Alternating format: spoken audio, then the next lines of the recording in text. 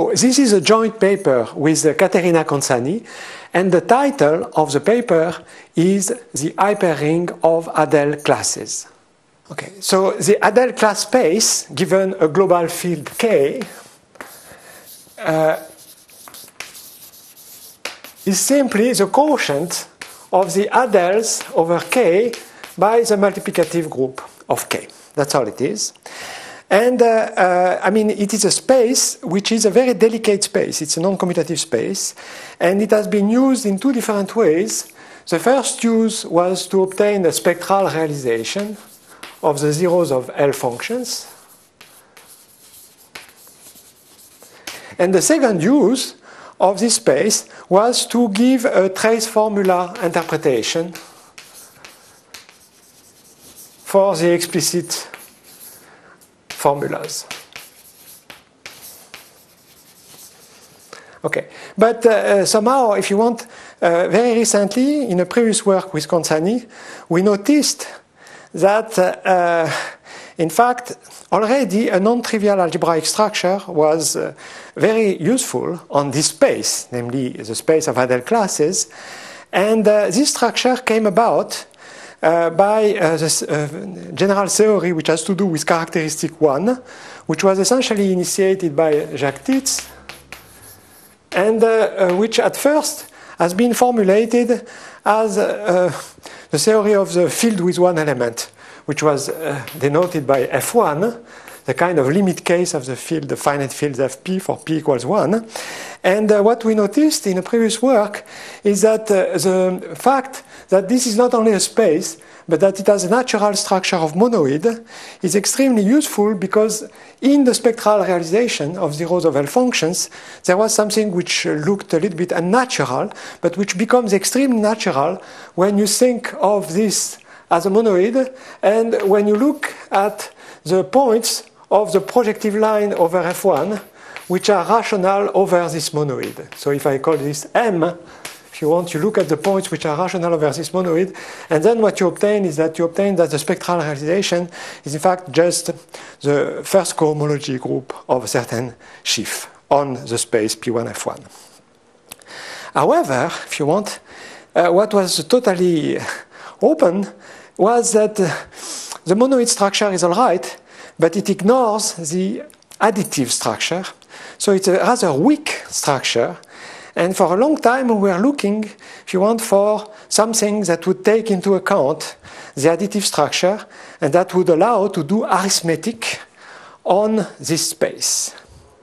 So now, the great surprise is that the answer to this puzzle of finding the right type of uh, additive structure is in fact contained, I mean, the germ of it, if you want, is in fact contained in a paper by Mark Krasner, which appeared in the same volume as the paper of Jacques Tits, which initiated the, the subject.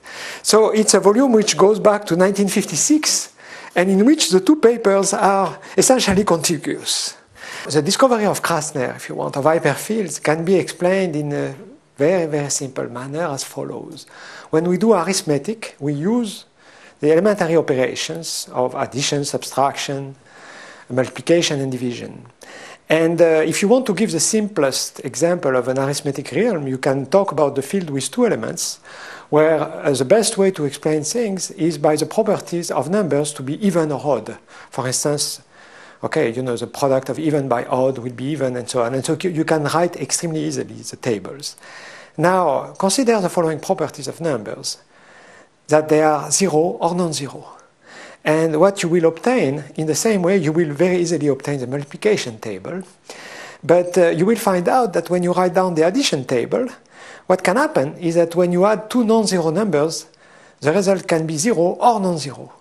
So if you want, you get uh, what is called an hyperoperation, and Krasner has uh, been able in his paper in 1956 to really extract the correct axioms for these algebraic objects. And um, you see, these algebraic objects look very trivial at first because, after all, it's uh, formed with two elements, 0 and 1. But you find out very quickly, uh, this is what we found in the paper, in our paper, two things which are quite remarkable. The first one, which was uh, in fact noticed by Prenowitz long time ago and which we uh, recast in the language of hyperfields, is that vector spaces over the Krasner hyperfield, when you look at them, you find out that they are exactly the projective geometries, exactly the axioms of ordinary projective geometry, in which lines have at least four points. So in fact, this allows to connect with the work of German geometers after the war, like Karzel and Ellers, and it opens up uh, an amazing source of results on the extensions of the Krasner hyperfield. And in fact, when you try to classify even the finite extensions of the Krasner hyperfield, you find that it is an open problem. And uh, that if you want, the fact that such extensions would be only restricted to the obvious one is equivalent to an open conjecture on the uh, uh, fact that uh, homogeneous finite non-Desarguesian projective planes do, do, not exist, which is a very difficult open problem in combinatorics. Our key observation in this paper with Consani is the following, is that uh, in a sense, if you want, this Krasner hyperfield, which has two elements, is uh, uh, a sort of uh, already enhanced and uh, upgraded version of uh, the idea of Tits on the field with one element. In the case of Krasner, you don't say that 0 is equal to 1, but uh, you, you make a more subtle addition. Now, our key observation was the following, is that Krasner had already observed that there is a sort of rather easy way to construct hyperrings, which are the obvious generalization of hyperfields, which is to consider the quotient of an ordinary ring by a group. Now, what we proved, which is a very important lemma, is that for such a hyperring to contain the Krasner hyperfield, to have, if you want, as a prime sub-hyperfield, the Krasner hyperfield, it's necessary and sufficient that the subgroup by which you divide, the subgroup, group of units by which you divide the ring, is such that when you adjoin zero to this subgroup, you obtain a subfield. And amazingly, this is exactly what happens for the Adele class space. Because the Adele class space is the quotient of the ring of Adeles by the multiplicative group of the subfield. So when you adjoin zero, you really have a subfield, and we know very well that when you use the Poisson formula to prove the functional equation, that's exactly the key. That's the core of the argument. So this observation told us that in fact the structure discovered by Krasner, which by the way was motivated by class field theory, should be the key in understanding the algebraic nature of the Adele class space.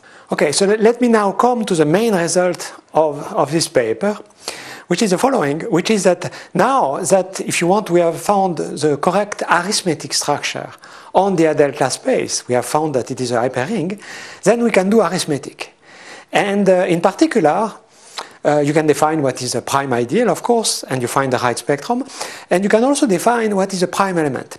And what we discovered, and which is explained at the end of the paper, is the following, is that, first of all, for any global field K, if you look at the prime elements, a set of prime elements in the hyperring of Adele classes, you find out that uh, it's a naturally a groupoid. So it has a structure, it, and this structure is a structure of a groupoid.